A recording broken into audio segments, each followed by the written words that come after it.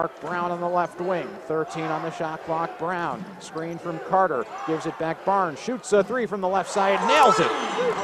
Out to Broekhoff on the left side and back to Bogan near midcourt. Right side, it's Buggs above the circle.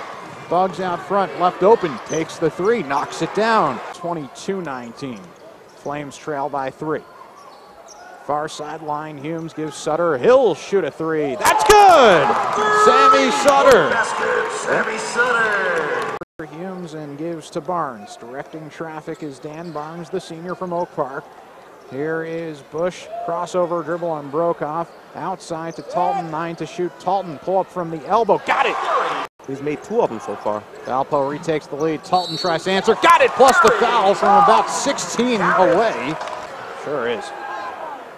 So Valpo opens up a seven-point advantage, their largest lead of the game. Humes pocket pick by Broekhoff. Off to the races, down the court, dunks it in. Ball rebound to Humes. Gives it off to Talton. Across the timeline, Humes. Right side, Brown fires up a three. Got